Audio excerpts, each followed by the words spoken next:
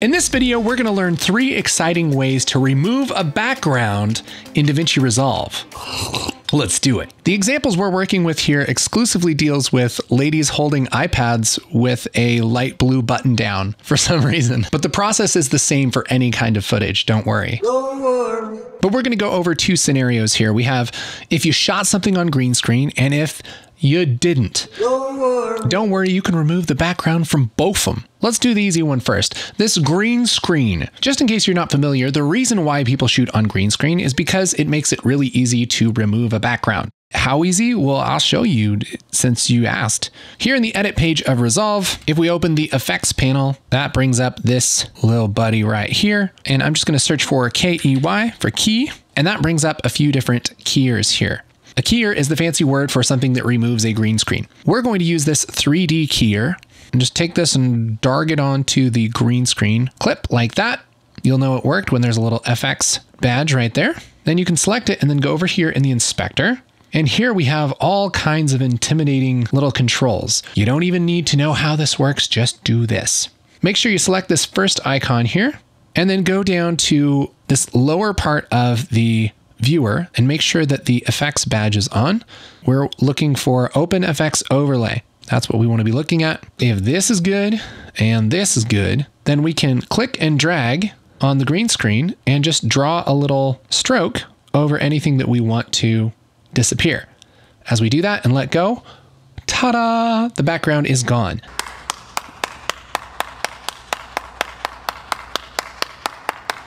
Now, how the heck does this work?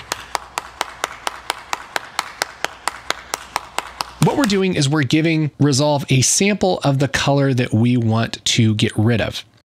And when we draw our stroke, we're just kind of giving it more colors.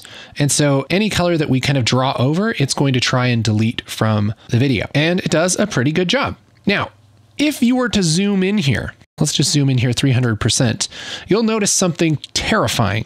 And that is this little green outline here. That is a dead giveaway that this used to be on green screen.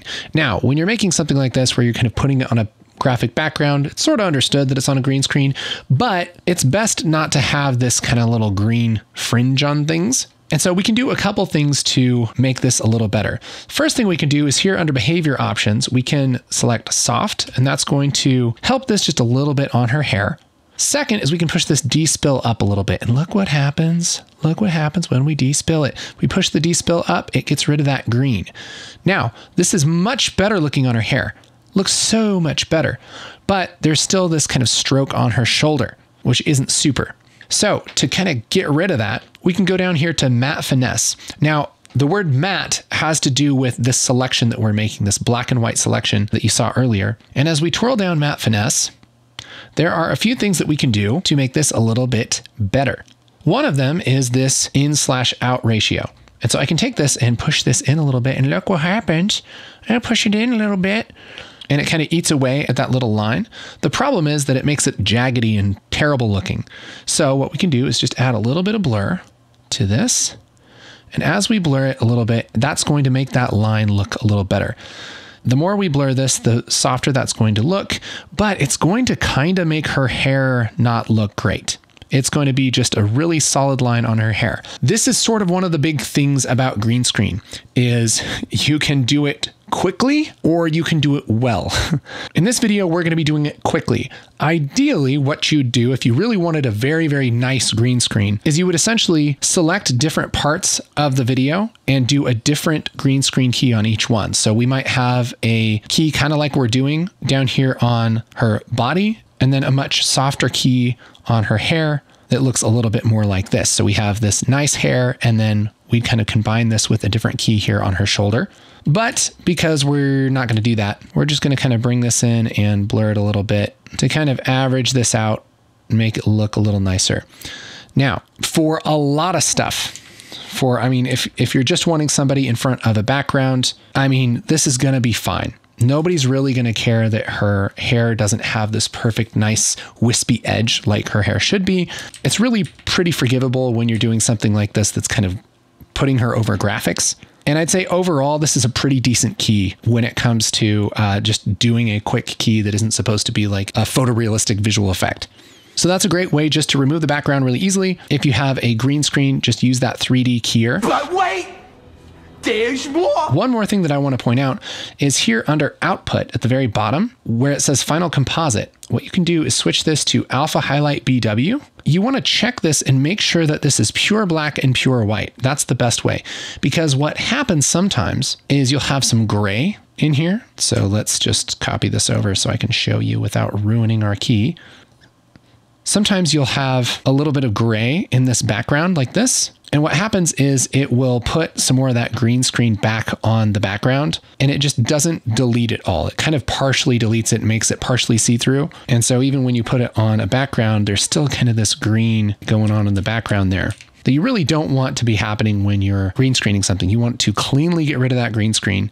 And so always, always, always, always, always go to your effects and make sure that you check the alpha highlight BW. And if there's still gray here, what you can do is go up here to this eyedropper and add another stroke like that. And that will usually fix it with this 3D keyer. The other thing you can do is go to your matte finesse and push up this black clip. And what that's going to do is just make more of this black and that can help too. Either way, you want pure black and pure white. Other than the edges, it's okay if the edges are a little bit gray because it'll make those a little bit softer and blend a little better. But this output, if we switch this to Final Composite, now we have a much better key we still have that green edge that we'd have to deal with, but we want a pure black and pure white matte. Okay? Okay. So that's the easiest way to remove a background is if you've already shot it on green screen, you can just take that away. And of course, the better job that you did shooting a nice smooth green screen, the easier it's going to be. But what if, what if you shot your video of a lady holding an iPad without a green screen? what then? Well, there are a couple different ways that we can get rid of this background. The first way, probably the easiest way, is with Magic Mask. Now, this is only available in the studio version, the paid version of Resolve, but I'll show you what it does. You can just switch over to the Fusion page, select this media in right here, and hit Shift Spacebar and type Magic and hit enter. Then you don't have to do anything. You don't have to know anything about Fusion. All you do is just draw on top of the person that you want to keep and it cuts it out magically, amazingly. It's probably not going to do the best job with her hair here. In fact, this is kind of not great, but I can hold down Alt and I can draw some strokes around this part to get a little bit better edge on her hair. Also right here. And that's pretty good. And this is with the faster preset. You can also switch it to better and that might give you a little bit better detail on her hair. It's actually looking pretty nice. And then once you have this selected, once you have your selection great, all you do is hit this button right here, this track back and forth, and we let it track. And depending on how much movement there is in the shot, what her background is like, all of that kind of stuff, it's going to do its best to cut her out from the background. Now, let's switch back over to the edit page to see how well it did. Oh, baby, it's pretty good it's pretty good considering there's no green screen at all. It's done a pretty good job of getting rid of our background. So that's quick. And again, it depends on what you're doing. If you're doing like a quick meme, this can probably be just fine like this. Nobody's going to care if there's a little bit of chatter here on this matte. If you want this to look nicer, you might have to spend a little bit more time cutting it out and changing your matte. One thing that I've found is with the better mode, it keeps some of that hair detail, which is great, but it also kind of flashes like this and it's not necessarily the greatest. And so something we could do would just be go back here and switch it to faster. And we'll just track this again. And let's look at the faster preset. So faster, it doesn't fuzz out the edges as much. There's generally a little bit less chatter, but there is still a little bit. But it gives us this really hard, nasty edge on here, which again, we can fix by going here to matte, this second tab here, and then pushing up the blur of the matte a little bit. So we can just zoom in here and blur this a little bit. That's going to give us a much better edge. Yeah, but it's still a little bit chattery, right? And that's just the nature of Magic Mask is sometimes the edges are a little bit chattery. You're not going to get this beautiful pristine edge like you would with a green screen. That's just kind of how it is. But that's the second way that you can cut something out and remove the background is with that magic mask. Now, if we want to use this clip and get rid of the background, but we don't want the chatter of the magic mask, there is another option, a third way to do this that's a little bit more work. You have to know a little bit more about Fusion, but it can give you some pretty nice results. So let's jump in. I'm just going to go to the Fusion page. And here, what we're going to do is some rotoscoping. If you're unfamiliar with rotoscoping, it's basically tracing something out and then animating that path that you traced. So, for instance, I could grab a polygon mask, which is this little icon right here, take the output and plug it into the blue part of our media in. And I can go up here to my inspector and turn this polygon off real quick. And I can do something like draw a mask around her like this. And what this will do is just isolate her. And so as I switch over here, we get a much cleaner edge that's not going to kind of flicker. But the problem with this is that when I play this back, she's like kind of looking through this cutout window and it's not great. It doesn't really make any sense. It's bad. So what we have to do is animate this path to follow her as she moves. Nope. Which, if that sounds like a lot of work, yes, that's a lot of work. and uh, it is very hard to make look good and takes quite a bit of experience, but it can be done. If you're at a point where you're like, Magic Mask isn't working, I didn't shoot this on green screen, please tell me how to roto a little bit. Here's a couple of quick tips if you're gonna roto something, you're probably not going to do a mask that goes around her whole body and head and hair and everything like this. What you're gonna do is isolate the different parts of her body that move separately, like her head, maybe her arm, her torso, or other arm, depending on how much movement there is. So you're gonna animate multiple shapes to make this mask. And the other thing you're gonna do is track the motion so that you don't have to do quite as much work. For instance, I could grab this and hit Shift Spacebar and type P-L-A-N-A-R. And that's going to bring up a couple of tools, our planar tracker and our planar transform. And I'm going to select the planar tracker and add that here. And this will allow me to select a piece of our footage here, like her face. I'll go over here to motion type. Instead of perspective, let's do translation and rotation. Go here to reference time and hit set. And then I can track this forward and backward. And that's going to track the movement of her head. Then I can click this button, create planar transform. And what that'll do is that'll give me another node right here that has captured the movement of her face. So I can get rid of this planar tracker now. And so if I wanted to put some text on her face, I can just run it through this planar transform and then merge that over and say, you know, face, and just put this right over her eyes. And look, it kind of sticks to her head. That's exactly what we want because that's going to help us move our mask. I'll just make a polygon mask, plug this into the yellow input of the planar tracker, and let's just draw a little outline of her head and hair here. Again, depending on how much movement there is, you might need to do more or less work than this. Okay, that looks good. And instead of bringing this into the merge, I'm gonna hold shift and drag this out and just plug this into the mask input of our media in like this. And now check this out.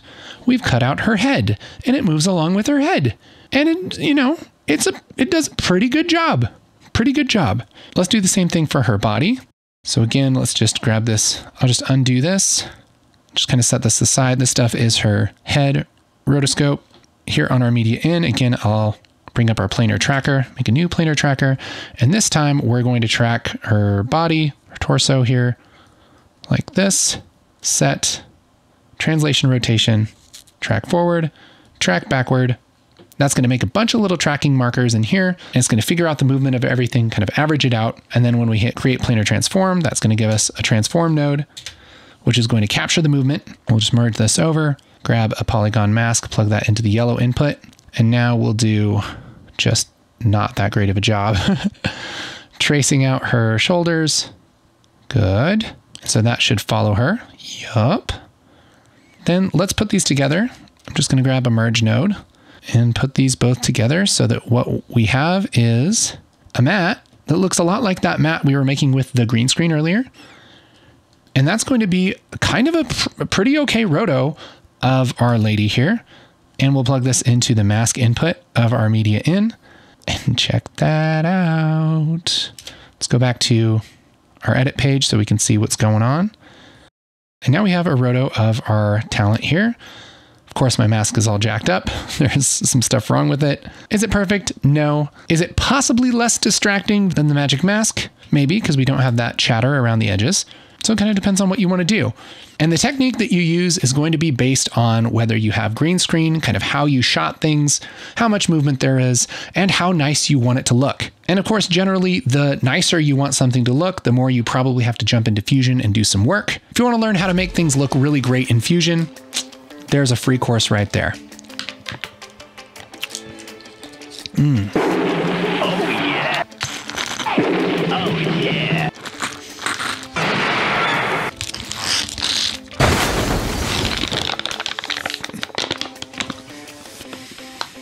You want a sip?